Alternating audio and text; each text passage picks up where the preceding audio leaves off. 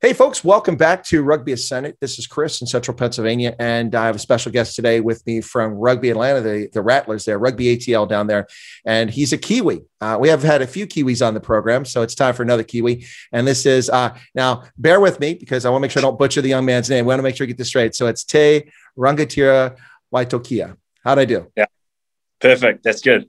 Excellent.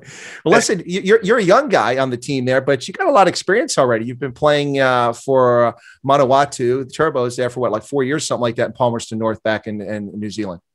Yep, that's correct. Yep. So last year was my fourth season um, in the 10 Cup. So, yeah, I guess you could say I'm, I'm young in this team, but I mean, when I was back home, I'd say I was like, I, I felt kind of old anyway, especially in our environment. I was probably like the second or third oldest back in our team last. year. Are you serious? Yeah. Good lord, that's old before your time, I guess, at least from that perspective. that's interesting. Yeah. You know, it's, it's it's interesting. I noticed that um, you know with sponsorship, things are always changing. I've got accustomed calling it the Mitre 10, but now I guess it's the Bunnings uh, National Provincial Championship or something like that. I think they renamed it. Yeah, they have renamed it. Yep. Um, I think it is I'm, I'm not too sure exactly what it is, but I'm pretty sure it's it's Bunnings now. Yeah, so, I, I mean, yeah. four years or so, the comp name always seems to change for some reason. it's well, it's sponsorship. It's whoever pays the most yeah. money, I guess. But yeah, you get accustomed to saying Mitre 10. That's what we heard for a long time there. So uh, you, are playing now for Rugby Atlanta over here Major League Rugby, and it's got to be a bit different than Mitre 10. That's a long established situation over there in New Zealand. And uh, before we get to that, though, you know, it's uh, you talk about being old. It, it, I think you're what 24. Is that you're 24? Did I get that right? Okay, 25. Okay, you turned 25. So, but, but I mean, you know, I suppose you are old in terms of New Zealand rugby because, um, you know, when children are born, uh, they're issued with nappies and a rugby ball at birth, right? uh, yeah, yeah, that's, yeah, definitely. And I suppose uh, with the New Zealand rugby lately, like a lot of boys come straight from school into the scene, or when like they, they usually start professional footy in their early 20s when they're about 20, 19. And then so obviously when you get to about 25, you've already had, you know, four, four at least four years experience in 10 Cup. So, so that's probably why why I feel old but then obviously it's good to come back here and, you know, I'm probably more on the young side of things. Oh, definitely. That's for sure. You got a few plus 30s on that squad, but uh, yeah. definitely, definitely a young guy. So how how did this come about? How did you come from playing Mitre 10 to to playing for Rugby Atlanta? Did like somebody scout you or somebody recommend you? How did this how did this happen? I mean, I I, I wouldn't have realized that we're we're drawing players from from New Zealand uh, and from Mitre 10 to play in the US, but I've seen it this year. So how did it come about for you? I guess I've always wanted to because obviously Mitre 10 Cup is the back end of the year. So, and this comp's usually at the start, obviously. So, I thought after the 10 Cup, I've always wanted to experience America and kind of check out the lifestyle and live here. And I mean, this competition is just a perfect avenue for that. Um, for that, so I just spoke to my agent and then asked if there was any opportunities over here, and then um, Scott back Scott got back to him. So I just thought it was a perfect opportunity to come over here and play some code and um, check out America. Well, I'd have to say that that is interesting because I know a, lot of people around the world always want to get the opportunity to either visit the states or maybe live here for a bit and experience yeah. the culture. And of course, we have a lot of cultures in this country, but you know, American culture is such a thing. But uh, you know, in the past, without without professional rugby over here, it's only been touring teams or if someone made a national side like the All Blacks or Springboks or something like that. You might get a chance yeah. on the occasional test match in the U.S. But now with Major League Rugby, this opens up a lot of doors to people around the world if they want to come over and experience the states who are rugby players. Yeah, definitely, and I, I think that's well because, like I said, I mean, a lot of people back in New Zealand are, you know, they're stuck in the American culture, the basketball and the, the music and all that kind of jazz, and obviously with the movies and the big like. Um, New York City, Times Square, and all those kind of places. Um, a lot of people from New Zealand want to come over and experience that. So then for this opportunity for this competition to go forward. Um, it just opened a lot of opportunities for that, and I think it's going to attract more and more each year, especially from New Zealand anyway, to come to this comp because they get to experience the lifestyle as well, um, as well as playing um, a bit of footy as well. Well, along those lines, what's your experience been like so far with Rugby Atlanta? It's been an interesting season thus far. You guys had a long winning streak there.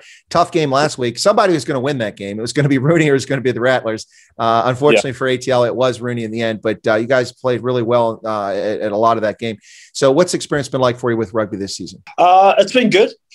Obviously, different from Mitre 10 Cup, but um, the good thing about here in Atlanta is we've got so many different cultures and different rugby backgrounds. So it's always it's always good to get different perspectives of the game. Obviously, we've got a few boys from a lot of boys from South Africa and stuff who played quality footy as well, and then we've got some um, American players and some Canadian players. So for me, it's just it's just an eye opener to get different perspectives um, from the game, and then especially tie that all into to one team and one culture. I think it's I think it's awesome, and I think it just broadens your game a little bit more. Well, I think that's a fair point. One of the points I've, I've been sharing with people is I think one of the strengths of the rugby Atlanta this season or ATL has been this um, this cosmopolitan approach. As you mentioned, you've got Matt Heaton from Canada, you've got you've got South Africans all over the place, you've got Kiwis, Americans on the team, and people coming from very different rugby backgrounds and gelling as a team. It's I really think on the pitch it, it's played out, and you guys have uh, now you guys are uh, you guys are, known for defense. Uh, although uh, last weekend there was a lot of offense in the game, but but uh, you're known for defense, but uh, you're kind of the guy that likes to get up the pitch and attack and, and, and move that ball up there. But you're uh, pretty adept at playing fullback or on the wing and also center. Do you have a favorite position? And and and given Atlanta's focus on defense, what, would you like to run more, or are you pretty comfortable with how it is? I'm pretty comfortable with it, with where I am at the moment and where um, Stephen Scott wants me to play at centre, um, especially being a um, they want me to be a like ball distributing centre in the middle of the park to try to get it to the edges to the likes of uh, Missile and Mark O'Keefe and Rory and let those boys kind of do their magic out in the channels. So at the moment, I'm fine with where I am. Um, usually I play in the outside channels back back in New Zealand, fullback and wing. Uh, but coming over here, like I said, I, I, think I only played like one game in Mitre 10 Centre last year. But coming over here and being thrown into that role, I think it's helped my overall game and seeing the seeing the game from a different perspective. Obviously, being more um, central um, I think it's helped myself a lot. And yeah, I wouldn't really, I'd probably say 15, 15 would probably be my favorite position. But like I said, we've still got we've got the likes of Adrian who can cover that, and then we've got Rory there who, who does an awesome job back there as well. So I'm just happy where the team um, needs me. Well, it seems to be working out pretty well. You do a good job distributing things there, and as you said, you get a different view of the game from that position. Yeah. So, so probably um, even though you're an old guy, not really an old guy, but you, you're learning a lot more about the game from being in a different position and, and, and, and, and broadening your skills. I think so. Uh, that's probably good, probably a good sign for you when you play back in New Zealand. Definitely, definitely. Because obviously when you're stuck out on the outside channels, you don't really see how, obviously because I'm not a center, I never really got to see what it's like in the middle and, you know, the specific comms the centers need from the outsides and stuff.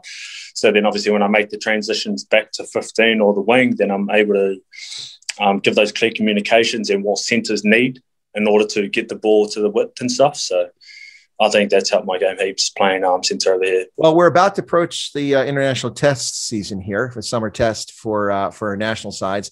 A lot of talk about uh, because the pandemic things going on, how schedules have been shifted and teams haven't been able to play. We, we, we a lot of talk about England's summer test series, the Eagles, of course, because we're here in the U.S. They're talking about that. A little bit about Canada, a fair amount of talk about South Africa because the uh, the uh, William Webb Ellis Trophy winners haven't been on the pitch since that game against England in 2019. I haven't seen a lot of talk about the All Blacks. Uh, can you give us a little uh, inside baseball, a little secret stuff? Um, uh, who are they playing? Uh, do you know who the All Blacks are going to be playing coming up in this Test series or Test playing, season? Uh, Fiji and Tonga. I think. I think they're only playing three games. I only know those are the two teams that I know are definite as Tonga and Fiji. They may be playing Fiji twice or Tonga twice. I'm not. I'm not too sure, but I, I definitely know they're playing those two teams. Well, that makes sense. Pacific Island nations makes the sense. Yep. I mean, you know, let's be honest, half the half the All Blacks are from Pacific Islands anyway. So, ooh, yeah. Sorry, I could I could help get that in. It is full disclosure, Tay. I, I am a lifelong Springbok supporter, so you know, so they know where that's coming from. anyway, well, it, it has been an interesting season for you thus far. Um, hoping to make the playoffs, I imagine. And uh, are, are you? Are, what's what's your plans? Um, if if the opportunity's there, are, are you going to want to come back to Major League Rugby? You want to stick with it and keep playing in New Zealand and here on this side of the world? Yeah, definitely. So the plan is to go back home and hopefully play some more Mitre 10 Cup, and then and then obviously assess throughout the season. Um, but I'll definitely be keen to come back. I mean, I, I like this comp. I'm liking this comp a lot, and I'm liking the lifestyle and everything. So yeah, I'd definitely be interested in coming back to this competition in the future.